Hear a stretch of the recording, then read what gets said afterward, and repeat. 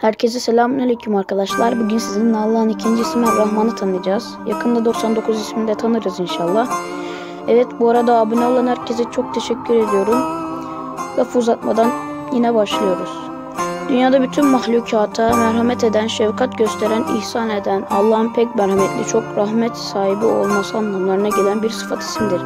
Sıfat ismi olmakla beraber bu ismin Allah'tan başkasına verilmesi uygun görülmez çok rahmet sahibi, gayet merhametli ve sonsuz rahmete bulunan diye tefsir edilip açıklanabilirse de yalnız Yüce Allah'ın özel bir ismi olduğundan dolayı tam anlamıyla tercüme edilemez. Dilimizde onun tam karşılığı olarak bir kelime yoktur. Esirgeyici olarak tercüme edilmesi de doğru değildir. Dolayısıyla bu anlam Rahman isminin tercümesi olamaz. Acıyan diye tercüme edilen ve onun tam anlamını vermekten uzaktır. Çünkü kuru bir acıma merhamet değildir. Bilindiği gibi merhamet acıyı giderip yerine sevinç, iyiliği getirmektedir.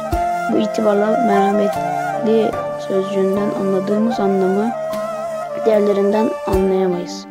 Rahman pek merhametli şeklinde eksik olan tefsir edilebilirse de tercüme edilemez. Yüce Allah'ın rahmeti sadece bir iyilik duygusundan ibaret değildir.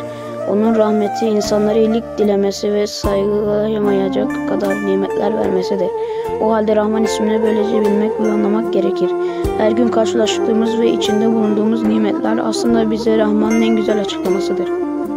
Evet arkadaşlar, bugünkü videomuzun da sonuna geldik. Abone olmayı unutmayın, like atmayı unutmayın. Hoşçakalın. Allah'a emanet olun.